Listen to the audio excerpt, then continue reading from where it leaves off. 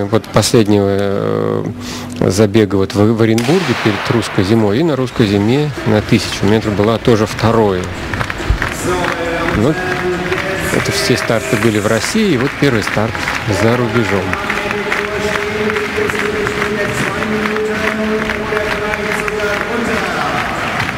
Так, Берже. наши девушки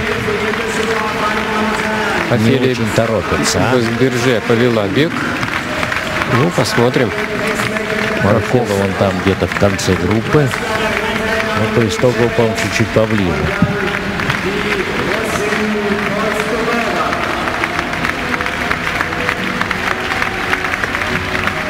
Ж, по-прежнему, да. по да, француженка ведет бег.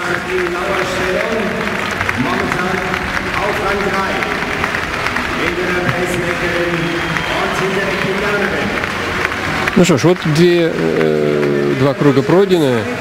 Ну и что? Ну, где, вот 59-74. Ну что ж, очень неплохо. Очень... Нет, по скорости нормально. Да, неплохо, да. да.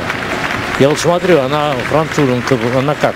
Ну, пейсмейкер или, так сказать, это просто нормальный ну, бег? Да, я думаю, скорее всего, пейсмейкер, потому что 2.06. Да, уходит она. Всего лишь она имеет. Ну, вот Екатерина перестроилась, уже без второй. Это не Праска из Соединенных так, Штатов Америки. Вперед. И пошла вперед вот за круг. За круг до финиша 1.32.77. Ну, значительно скорость упала, когда сошел пейсмейкер. Вот посмотрите, с таким длинным, э, красивым шагом Екатерина э, возглавила бег и сейчас будет пытаться. Но соперницы пока вот рядышком. Винни Чебет из Кении, пыталась, но нет, вряд ли, нет, конечно, но нет. ее достанут. Маркела вот борется за Я второе думаю, что место. бы надо побороться, нет.